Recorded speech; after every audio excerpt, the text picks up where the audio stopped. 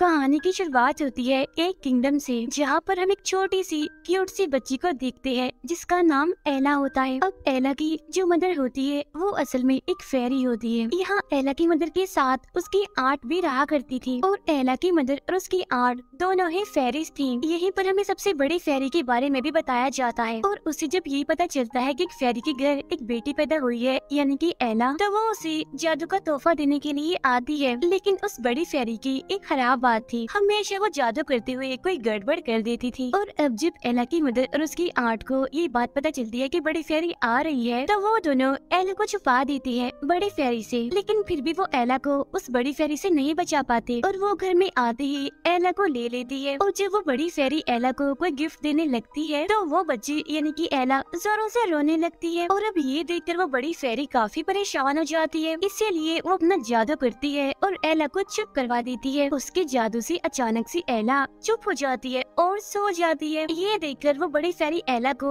ये गिफ्ट देती है कि एला हमेशा ही दूसरों की बात मानेगी। ये सुनकर एला की मदर और उसकी आर्ट उस बड़ी फेरी से नाराज़ हो जाती है और कहती है कि हमेशा लोगों की बात मानना ये अच्छा गिफ्ट नहीं है। ये सुनकर वो बड़ी फेरी कहती है कि अब तो मैंने ये गिफ्ट दे दिया है तो इसीलिए अब मैं इसे वापस नहीं ले सकती। ये कहने के बाद वो बड़ी फेरी वहाँ से चली जाती है और अब इसी ब्लेसिंग यानी कि इसी गिफ्ट के साथ एला को अपनी ज़िंदगी गुजारनी पड़ती है और अब दिखते ही दिखते एला बड़ी हो जाती है। लेकिन इस गिफ्ट की वजह से उसकी मुश्किलें भी बढ़ने लगती है और ना चाहते हुए भी दूसरों की कही गई सारी चीज़ें उसे करनी पड़ती है। चाहे वो अच्छी हो या फिर बुरी हो, कुछ टाइम के बाद हम दिखती है की एला की मदर की तबीयत काफ़ी खराब हो गई है। एला की मदर बेड पर पड़ी अपनी आखिरी साँसें ले रही होती है, लेकिन मरने से पहले वो एला से कहती है कि, मेरी बेटी, तुम अपने इस ब्लेसिंग यानी कि इस तोहफे के बारे में किसी को भी मत बताना वरना लोग इसका गलत इस्तेमाल भी कर सकते हैं। और हाँ कोई भी ब्लेसिंग हो गिफ्ट हो, या फिर कर्ज हो, वो किसी इंसान से बड़ा नहीं हो सकता। इसीलिए इन चीज़ों पर इतना भरोसा मत करो, जितना कि तुम खुद पर करते हो। और हमेशा अपने दिल की सुनो, क्योंकि ठीक फैसला लेने में वही तुम्हारी मदद कर सकता है, और तुम्हें सही रास्ता दिखा सकता है। और कोई भी कर्ज हो, तुम्हारी ज़िंदगी नहीं बदल सकता, जब तक की तुम खुद ना चाहो। ये बातें करते हुए एला की मदर उसे एक लॉकेट देती है, और इसके बाद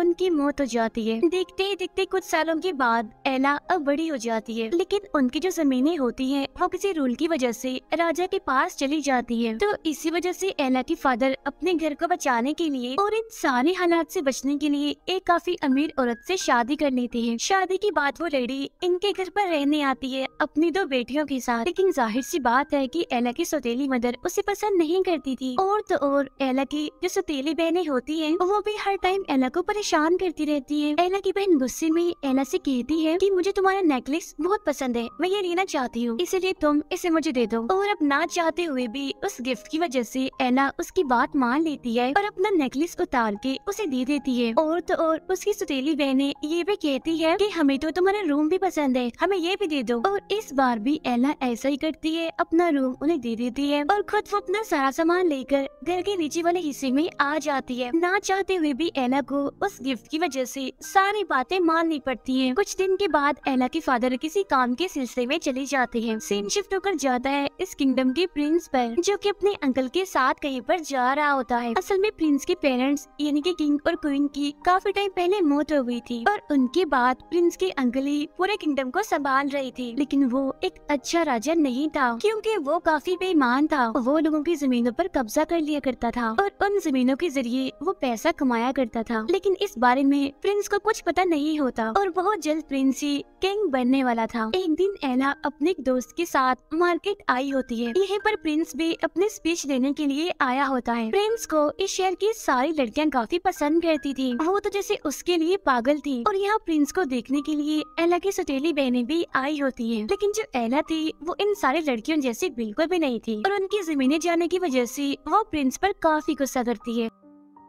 इसीलिए एला और उसकी दोस्त प्रिंस के खिलाफ नारे लगा रही होती है। और जब प्रिंस ये देखता है तो उसे ये बुरा नहीं लगता, बल्कि वो एला को देखते ही उसे पसंद करने लगता है। उसकी तरफ़ अट्रैक्ट होने लगता है कि इस भीड़ में आज ये पहली ऐसी लड़की है जो पागलों की तरह मेरे पीछे नहीं पड़ी हुई, बाकी लड़कियों की तरह और सोच समझ कर ही बातें कर रही है। लेकिन जब एला की सौतेली बहन ये देखती है तो वो काफ़ी गुस्सा करती है एला पर और उसे घर जाने के लिए कहती है। और इसीलिए एला को उसकी बात माननी पड़ती है। इसीलिए वो अपने घर के के लिए जाने लगती है। स्पीच खत्म होने के बाद प्रिंस भी अपने घर जाने लगता है। लेकिन सारी लड़कियाँ जो उसके पीछे पागल थी, स्टेज को तोड़कर प्रिंस की तरफ़ जाने लगती है। लड़कियों को अपनी तरफ़ आता हुआ देखकर प्रिंस वहाँ से भाग जाता है जंगलों की तरफ़, जबकि सारी लड़कियाँ अभी भी उसका पीछा ही कर रही थी। अब एला भी उसे जंगल से जा रही होती है, लेकिन जाते जाते प्रिंस गलती से एला से टकरा जाता है। लेकिन इससे पहले कि एला शोर मचाती, प्रिंस उसके मुँह पे हाथ रख लेता है और वो दोनों एक जगह पर छुप जाते हैं, जिसके बाद लड़कियों का वो ग्रुप दूसरे साइड पर निकल जाता है। अब इस वजह से एला को काफ़ी गुस्सा आता है और वो वहाँ से जाने लगती है। लेकिन प्रिंस को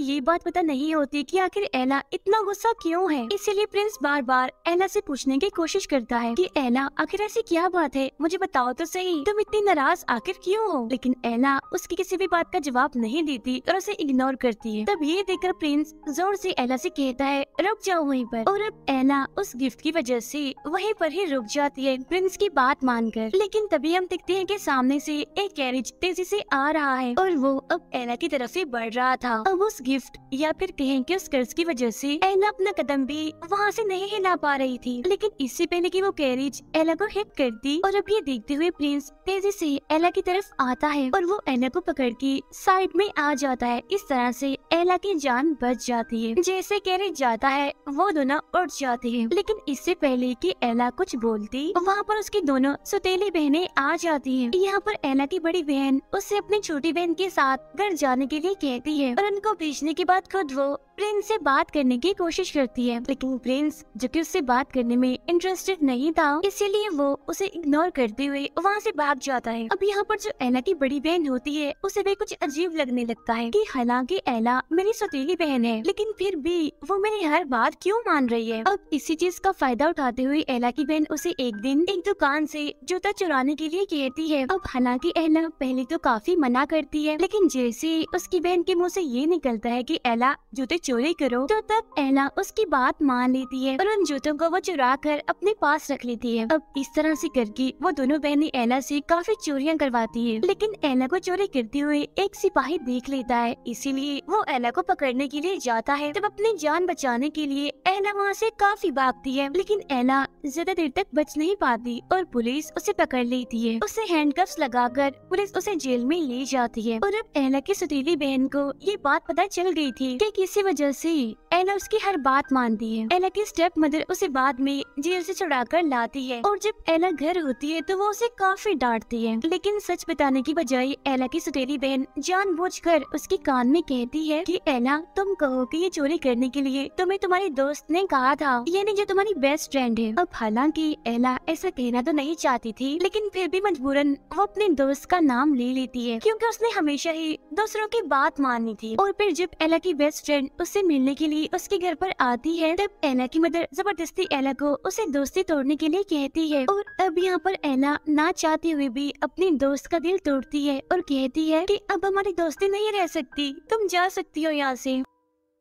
अपनी सबसे अच्छी दोस्त को खोने की वजह से एला काफ़ी उदास हो जाती है, लेकिन तभी वहाँ पर एला की आंट आ जाती है और वो एला से कहती है कि, बेटा, देखो मेरी बात सुनो। तुम्हें किसी भी तरह करके उस बड़ी फेरी को ढूंढना होगा, ताकि वो ये कर्ज जो कि तुम्हें गिफ्ट की सूरत में मिला है, वो इसे तोड़ सके। तब ये सुनकर एला उदास होती हुई उसे कहती है की पूरी दुनिया में वो बड़ी फेरी कहाँ पर है, मुझे तो ये भी नहीं पता, और मैं उसे कैसे ढूंढूँगी? ये सुनकर एला की आंट उसे किताब ला दिखाती है। तब ये देखकर एला उनसे पूछती है कि ये कैसी किताब है। तब ये सुनकर एला की आर्ट उसे बताना शुरू करती है कि असल में कुछ सालों पहले मैं अपने दोस्त पर एक जादू कर रही थी, लेकिन जादू का गलत इस्तेमाल करने की वजह से मेरा वो दोस्त अभी किताब बन गया है। और अब इस किताब की मदद से तुम ये जान सकती हो कि आखिर वो बड़े फेरे कहाँ पर है। इसके बाद एला की आर्ट का दोस्त यानी कि वो किताब ये सर्च करती है कि आखिर वो बड़ी फेरी इस टाइम कहाँ पर है। तब इससे उन्हें ये पता चलता है कि असल में वो बड़ी फेरी जॉइंट पहले नामी एक जगह पर है। अब उसी दिन ऐना अपनी आर्ट की मदद से वो घर छोड़ देती है। लेकिन बड़ी फेरी को ढूँढने के लिए वो अपने पास उसी किताब को भी रख लेती है। असल में वो किताब बिल्कुल एक मैप की तरह ही काम करती थी। और वो किताब हमें ये बता सकती थी कि इस टाइम दुनिया का कौन कौन सा इंसान कहाँ कहाँ पर है। और इसी को फॉलो करते हुए एला बिल्कुल ठीक रास्तों पर जा रही होती है। लेकिन जब एला जंगल से गुजर रही होती है तो उसे किसी की चिल्लाने की आवाज़ें सुनाई देने लगती है। ये आवाज़ असल में एक एल्फ की होती है। जिसे दरअसल कुछ लोगों ने बांधा होता है और वो लोग उसे परेशान कर रहे थे। तो वहाँ पर आकर एला उन पर गुस्सा करने लगती है और कहती है कि तुम लोगों ने इसे क्यों बांधा हुआ है? छोड़ो इसे, आज़ाद करो। तो वो लड़की एला का मज़ाक बनाती है और उसे कहते हैं, लो, देख लो, ये लड़की हमारी टांग तोड़ने वाली है। लेकिन उस गिफ्ट की वजह से एला सच में यहाँ पर ऐसा ही करती है और एक एक करके उन सबकी टांगे तोड़ने लगती है। वो उन सबको काफ़ी मारती है और उस एल्फ को आज़ाद कर लेती है। अब यहाँ पर वो एल्फ अपनी कहानी बताने लगता है। वो बताता है कि दुनिया में लोग एल्फ को ऐसे जानते हैं कि एल्फ लोगों को एंटरटेन करते हैं और एल्फ सिर्फ़ गाना बजाना और डांस कर सकते हैं। लेकिन असल में मैं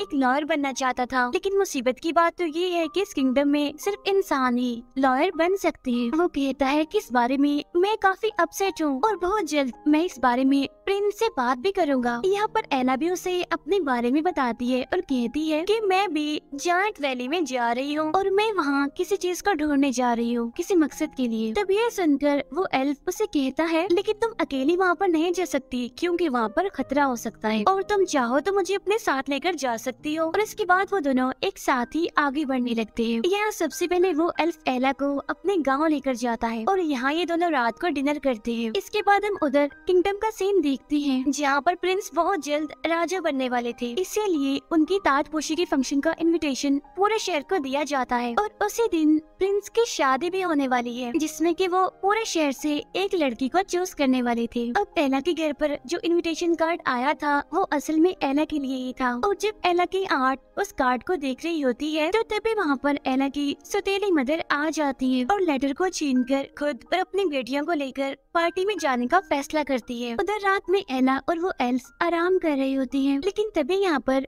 प्रिंस के सिपाही आते हैं और वो बहुत सारे एल्फ को मारकर ज़बरदस्ती पैलेस लेकर जा रहे होते हैं, क्योंकि बहुत जल्द वहाँ पर पार्टी होने वाली थी। लेकिन एला और वो एल्फ बिल्कुल ठीक टाइम पर वहाँ पर छुप जाते हैं। फिर सिपाहियों के जाने के बाद वो दोनों आगे बढ़ते हैं। अब जब वो लोग जंगल से गुजर रहे होते हैं तो इन्हें यहाँ पर कुछ अजीब तरह के लोग घेर लेते हैं और ये लोग साइज़ में काफ़ी बड़े थे। ये लोग एला और उस एल्फ को पकड़ लेते हैं। वो उन दोनों को लटका देते हैं और उन्हें पकाकर बस खाने ही वाले थे। लेकिन तभी वहाँ पर प्रिंस और उसके कुछ सिपाही आ जाते हैं। यहाँ आके प्रिंस इन अजीब लोगों से लड़ता है, जिससे एना और एल्फ की जान बच जाती है।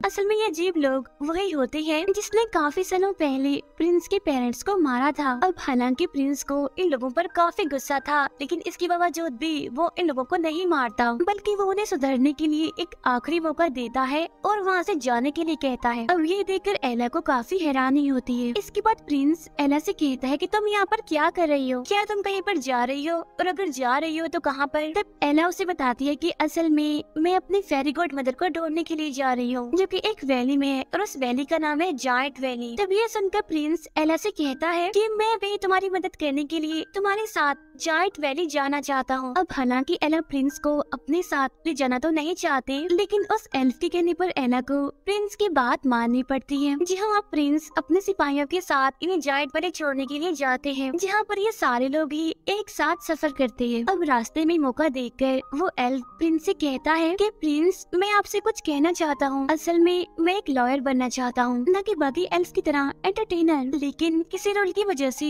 सिर्फ़ इंसानी लॉयर बन सकते हैं। तब इस बात के बारे में ना जानते हुए प्रिंस उस एल्फ से कहता है कि इसमें मैं तो कुछ नहीं कर सकता, क्योंकि ये सारे मैटर मेरे अंकल देखते हैं। और जब मैं राजा बनूँगा तो मैं देख लूँगा कि क्या करना है। अब प्रिंस का ये जवाब सुनकर एला उसे समझाती है कि आप कोई मामूली तो नहीं है। आप प्रिंस हैं, आप भी तब्दीली ला सकते हैं। और अभी से ही तुम्हें लोगों की मसलों को सुनना चाहिए, उन्हें सॉल्व करना चाहिए। और अब एला की यही बात प्रिंस को काफ़ी पसंद आती है। कुछ ही टाइम के बाद ही तीनों अपना सफ़र खत्म करते हुए अपनी मंजिल पर पहुँच जाते हैं, यानी जाइंट वैली में। यहाँ के जायंट्स को हम देखते हैं, जो की साइज़ में काफ़ी बड़े थे। लेकिन इसके बावजूद भी राजा के बहुत सारे सोल्जर्स उन जायंट्स को मारकर उनसे काम करवा रहे थे। अब यहाँ पहुँचने के बाद एला को ये पता चलता है की वो बड़े शहरी तो यहाँ पर है ही नहीं। अब क्योंकि एला को यहाँ पर बड़ी फेरी नहीं मिली थी, इसलिए वो यहाँ से जाने लगती है। लेकिन इस टाइम यहाँ जाइंट वैली में एक फ़ंक्शन चल रहा था। इसलिए प्रिंस को आज रात यहीं पर स्टे करना था। इसलिए प्रिंस यहाँ पर एला से काफ़ी रिक्वेस्ट करता है कि प्लीज़ एक दिन की तो बात है। आज हम यहाँ पर रुक जाते हैं, कल चले जाएँगे। अब प्रिंस के ऐसा कहने की वजह से एला को ना चाहते हुए भी यहाँ रुकना पड़ता है। यहाँ पर जाइंट्स का किंग और प्रिंस आपस में बातें कर रहे होते हैं। और जितनी भी यहाँ पर प्रॉब्लम्स होती है, वो उनको सॉल्व सॉल्व कर लेती है। ये देखकर एला को दोबारा से प्रिंस पर यकीन होने लगता है। यहाँ वो इस फ़ंक्शन में काफ़ी इंजॉय कर रहे होते हैं और अब यहाँ एला को भी प्रिंस पसंद आने लगता है। इसीलिए वो दोनों यहाँ पर डांस कर रहे होते हैं। एला यहाँ पर प्रिंस से कहती है कि मैं अपनी गॉड मदर यानी कि बड़ी फेरी को काफ़ी टाइम से ढूंढ रही हूँ और उन्हें ढूंढते हुए मैं यहाँ तक आ गई। ये सुनकर प्रिंस उससे कहता है कि मैं तुम्हारी मदद कर सकता हूँ। असल में मेरे किंगडम में सभी लोगों के रिकॉर्ड्स हैं और वहीं से हमें बड़ी फेरी के घर का पता मिल सकता है। और अब ये सुनकर एला को काफ़ी खुशी होती है और फिर अगली ही सुबह ये लोग अपने किंगडम वापस आने के लिए निकलते हैं। यहाँ आने के बाद प्रिंस एला को अपने महल लेकर आता है। यहाँ इस टाइम महल में एला की सुतेली माँ और उसकी सुतेली बहनें भी होती है। यहाँ पर प्रिंस एला को उस रूम में लेकर आती है, जहाँ पर सभी लोगों के रिकॉर्ड थे। यहाँ पर आने के बाद एला बड़ी फेरी के बारे में पता लगवाने की कोशिश करने लगती है। ताजपोशी से पहले प्रिंस अपने अंकल से मिलने आती है और उनसे कहती है कि मुझे एला बहुत पसंद है और मैं उसी से ही शादी करूँगा। लेकिन प्रिंस के अंकल ये सुनकर ज़्यादा खुश नहीं होते क्योंकि वो खुद ही इस किंगडम का राजा बनना चाहता था। यानी कि वो हमेशा ही अपना कंट्रोल रखना चाहता था। और यही वजह थी कि प्रिंस की शादी से वो खुश नहीं होता। तो अब इसी मकसद के लिए एला को अपने रास्ते से हटाने के लिए वो उसकी दोनों सतीली बहनों को अपने पास बुलवाता है मिलने के लिए। यहाँ पर प्रिंस का अंकल एला की बड़ी बहन से एक डील करता है कि मैं तुम्हारी शादी प्रिंस से करवा दूँगा। लेकिन इससे पहले तुम दोनों को मिलकर एला को मेरे रास्ते से हटाना है। तब ये सुनकर एला की बड़ी बहन कहती है, ये तो बड़ी आसान बात है, क्योंकि एला के ऊपर किसी किस्म का जादू है, जिसकी वजह से आप जो भी उसे कहेंगे, वो आपकी हर बात मान लेगी। तब ये सुनकर प्रिंस की अंकल उस रूम में जाते हैं, जहाँ पर एला थी। यहाँ आकर वो एला से कहता है कि जब प्रिंस तुम्हें शादी के लिए प्रपोज करेगा तो तब तुम्हें इस नाइफ से प्रिंस को मारना होगा। ये कहते हुए वो एला को एक नाइफ भी देता है और अब इस नाइफ को ना चाहते हुए भी एला अपने पास रख लेती है, क्योंकि उस कर्ज की वजह से वो उसका ऑर्डर मानेगी। लेकिन जब एला वहाँ से जाने लगती है तो प्रिंस का अंकल उसे कहता है कि, मेरी एक बात सुनो। इस बारे में तुम किसी को कुछ भी नहीं बताओगी। यानी कि तुम इस बात को सीक्रेट रखोगी। और अब इस वजह से भी वो इस बारे में किसी को भी नहीं बता पाती। अब क्योंकि वो अपने हाथों से ही प्रिंस को मारना नहीं चाहती थी, इसलिए वो महल से काफ़ी दूर आ जाती है और वो खुद को एल्फ से कहकर शहर से बाहर एक ट्री से, जंजीरों से बंधवा लेती है। इसके बाद वो उस एल्फ से कहती है कि तुम अपने गाँव जाओ और सभी को, इनके एल्फ्स को और जार्स को इस किंगडम में लेकर आओ, ताकि वो सारे मिलकर प्रिंस के अंकल को रोक सके। अब जहाँ पर एला बंदी होती है, यहाँ देखते ही देखती रात होने लगती है। उस कर्ज की वजह से वो आहिस्ता आहिस्ता करके महल की तरफ़ खींचती ही जा रही थी। लेकिन इस कर्ज को तोड़ने के लिए वो दिल ही दिल में ये प्रे कर रही होती है कि काश मुझे एक बार वो बड़े फेरी मिल जाए, यानी मेरी गॉड मदर। लेकिन तभी हम देखते हैं कि उसकी ये प्रे यहाँ पर पूरी हो जाती है। यानी यहाँ पर अचानक से वो बड़ी फेरी आ जाती है, जो कि असल में कहीं और जाना चाहती थी, लेकिन गलती से वो यहाँ पर आ गई। यहाँ पर बड़ी फेरी को देखकर एला काफ़ी खुश हो जाती है और उसे बताती है कि आप असल में मेरी फेरी गॉड मदर है, लेकिन गलती से आपने मुझे गिफ्ट समझकर एक कर्ज दे दिया। अब इसके बावजूद भी वो बड़ी फेरी, उससे वो कर्ज वापस नहीं लेती और कहती है कि एक बार कोई भी तोहफा देकर उसे वापस नहीं लेती। हालाँकि, एला उसे काफ़ी समझाने की कोशिश भी करती है, लेकिन वो एला की बातों को इग्नोर करके, उस पर अपना जादू करके, उसे जंजीरों से आज़ाद करती है। इसके बाद वो एला को काफ़ी अच्छी से ड्रेसअप करती है, यानी कि उसे पूरा तैयार कर देती है, जिससे यहाँ पर एला काफ़ी खूबसूरत लगने लगती है। ऐसा करने के बाद वो बड़ी फेरी ज़बरदस्ती एला को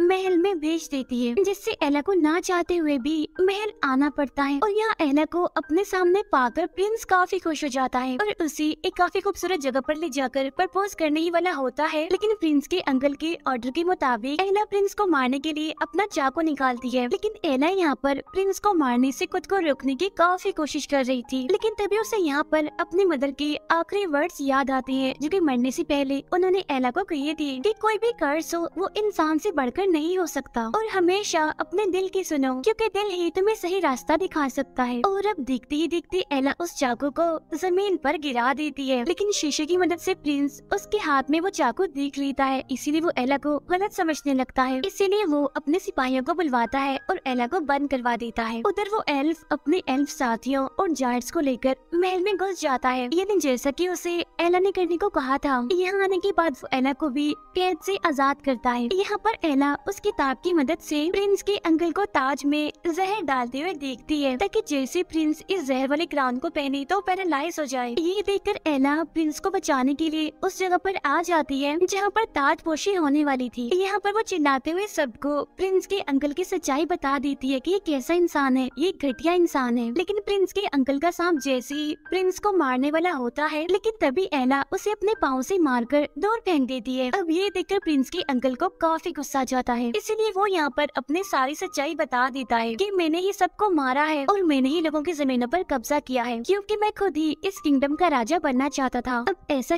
कहते ही वो उस क्राउन को खुद ही पहन लेता है, जिसमें कि उसने जहर डाला था। अब ऐसा करते ही वो खुद पैरालाइज हो जाता है और देखते ही देखते उसकी मौत हो जाती है। ये सब कुछ एला की सौतेली बहनें भी देख रही होती हैं। यहाँ पर एला की बड़ी बहन उसे फिर से ऑर्डर लगाने की कोशिश करती है। तब ये देखकर एला हँसते हुए उसे कहती है कि, अब ऐसा कुछ नहीं होगा, मैं तुम्हारी बात नहीं मानने वाली, क्योंकि मैंने खुद ने ही उस कर्ज को तोड़ लिया है। नेक्स्ट सीन में हम देखते हैं कि एला और प्रिंस की शादी हो जाती है। उनके शादी को दिखाते हुए ये, मूवी यहीं पर एंड हो जाती है। Thank you for watching